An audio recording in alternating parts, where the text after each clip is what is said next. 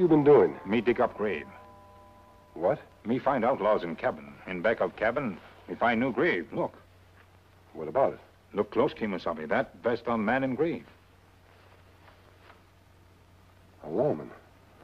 The sun faded the cloth except where he wore his badge. I'm beginning to understand. The man you found was a federal marshal named Mason. Silky Carter almost got away with his double masquerade. You find Silky? Yes, I found him. Then we take him to sheriff. Oh, it's not that easy, Tonto. We've got to make him lead us to the money. Did the men in the cabin see you? No. Good. I've got a plan. Listen closely. Good morning.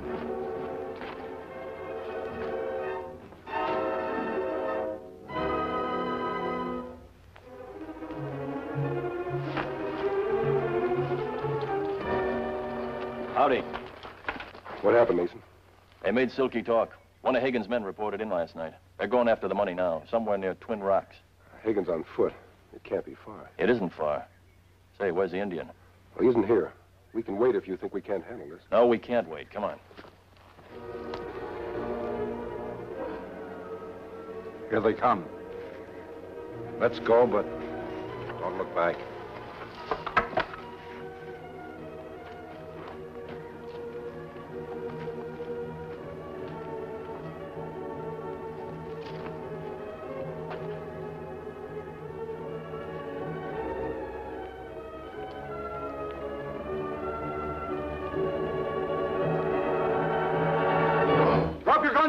Like he says. You're covered on all sides. What's the idea, Mason? And the boys in the pen said you were smart. I'm not Mason. Who are you? The man you've been looking for, you fool. Silky Carter. Shall I take that mask off? Now, wait a minute. Don't start anything till we got the dough. We're too close to the way station. That don't mean I won't shoot if I have to. You'll never get away with this, Carter. With you helping me, how can I miss? You're going to do some dirty work before I have the pleasure of taking off that mask. Keep him covered. Here, grab this pick. Yeah, you're to dig for money and dig your own grave at the same time.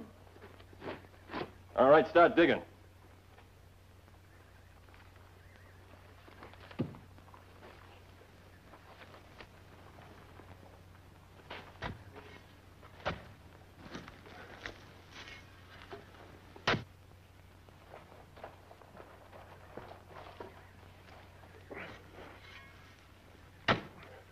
Are you sure this is the right place?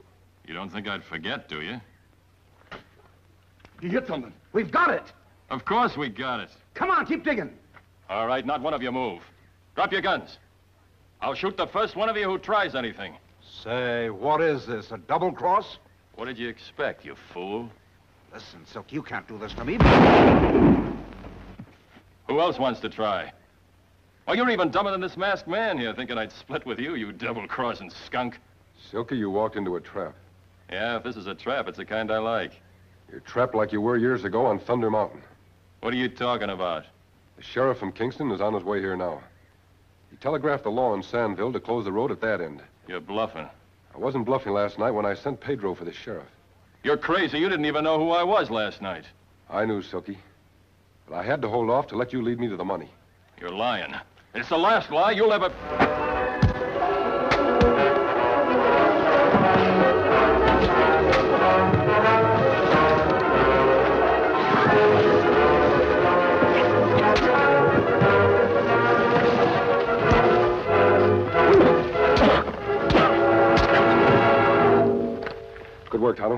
We'll tie them up and take them to the way station.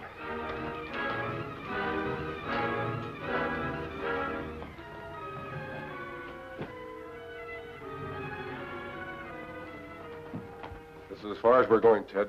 I wouldn't be so sure. Hello, Sheriff. Well, I'm certainly glad to see you, Sheriff. This man jumped me in the woods last night and made me say that I killed Judge Scoville. Why, how can anyone make you say a thing like that? Well, wouldn't you with a gun in your ribs? I'd have confessed the murder of Abraham Lincoln to get away from this madman. He told me his father put Meredith's gun beside Scoville. now, you know how ridiculous this story is. You know my father. You know he'd never do a thing like that. Well, suppose we all go have a talk with your father. Yes. Suppose we do.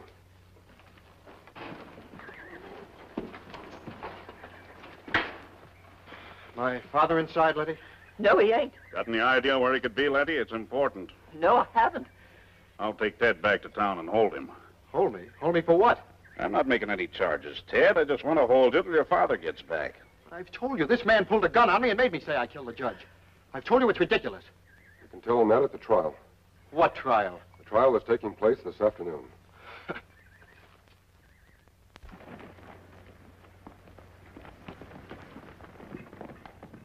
Mr. Latham comes back, would you tell him to go right over to the sheriff's office? Yes, I will.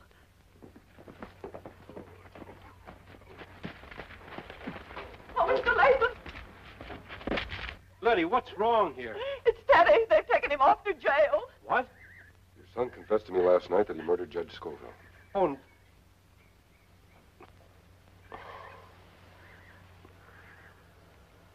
I did all I could to protect him. But Teddy didn't kill the judge. He said he didn't. He told the sheriff right in front of me that this man pulled a gun and made him say he did it. But he didn't do it. I'd take his word any day against this. Bandit. Stop your bawling, Letty. But Teddy in jail. I know. I can't believe it myself. Now that it's your boy that's in trouble, I imagine you're glad Tonto's bringing back the judge. But he isn't. He isn't. He never got to Boonville. I headed him off. You see, this is my country, not your Indian friends. And I knew all the shortcuts. But I, I wanted to save my boy. I, I thought I could do it, too, if I could stop your friend from bringing the judge. But now that Teddy's confessed to you, why, there's nothing more I can do. So I guess you might as well go and let your friend loose. He's tied up in a cabin not too far from here. Where exactly? Well, it's right up... Oh, I better go with you. Doubt if you could locate it. Mr. Latham, Yeah? would you mind leaving your gun here? Oh, why, sure. You are, Letty? You're not going to take your gun? Oh, I won't need it. Shall we go?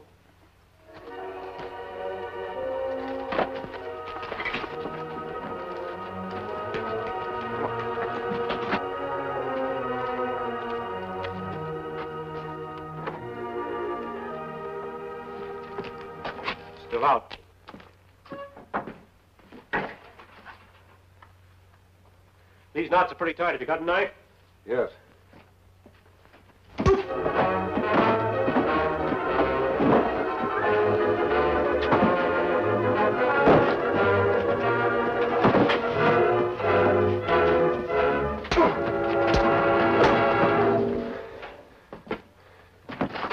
You all right? Me all right, I guess. Think you could ride to Boonville? Ah, me ride. That man who hit me on the head and stopped me? Yes. Now he's stopped.